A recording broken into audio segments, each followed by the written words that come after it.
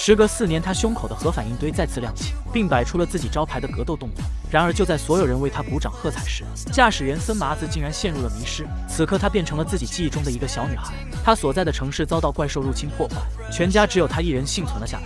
而怪兽很快发现了这个小女孩，并朝着她的方向追了过来。小女孩在绝望中伸出双手，试图阻挡怪兽。与此同时，现实世界中的森麻子已经彻底失控，他竟然打开了危险流浪者的武器系统。这一幕吓傻了在场的所有人。等缓过神来，众人开始纷纷逃命。最后，男人及时拔掉了机甲的武器电源，才化险为夷。因为这件事，森麻子遭到其他驾驶员的辱骂。萝莉为了维护自己的搭档，与对方扭打在一起。显然，年轻的驾驶员并不是萝莉的对手。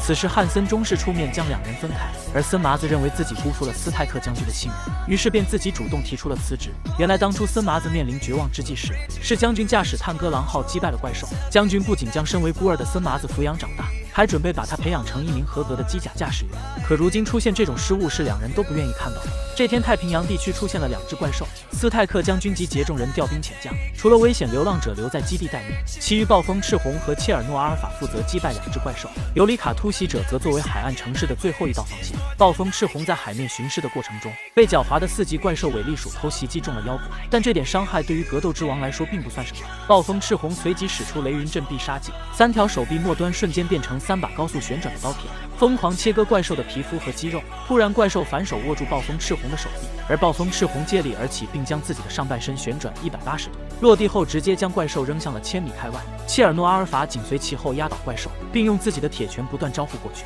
可能因为攻速太慢，被反应过来的怪兽一尾巴扫飞了出去。此时被激怒的怪兽疯狂攻击暴风赤红，竟然直接抓住了机甲的驾驶舱。三名驾驶员来不及反抗，瞬间阵亡。看着倒下去的战友。切尔诺阿尔法的两名驾驶员不仅没感到害怕，反而摩拳擦掌，准备为小红报仇雪恨。可这时怪兽竟然张开大嘴，吐出一口强酸，竟然直接腐蚀掉了阿尔法厚重的护甲。